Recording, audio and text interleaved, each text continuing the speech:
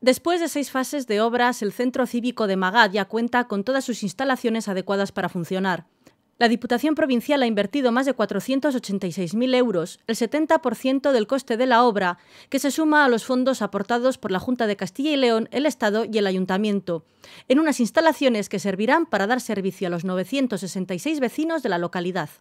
Esto se enmarca, como es lógico, dentro de la labor de la Diputación Provincial, de la igualdad de oportunidades en el medio rural eh, respecto al medio urbano y, si me permiten, también de esa igualdad a la hora de acceder a servicios diarios por parte de los ciudadanos. La última fase con la que se da por concluida la obra ha consistido en el acondicionamiento de la planta sótano para su uso como salón de actos, un espacio que completa las instalaciones que comenzarán a funcionar en breve.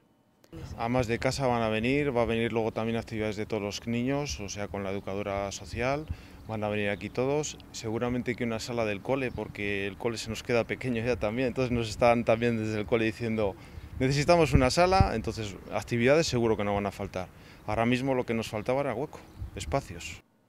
La presidenta ha visitado la localidad de Magad y ha conocido también las futuras obras de la Avenida de la Virgen de Villaverde y de la calle de las Heras, que serán rehabilitadas a cargo a los planes provinciales.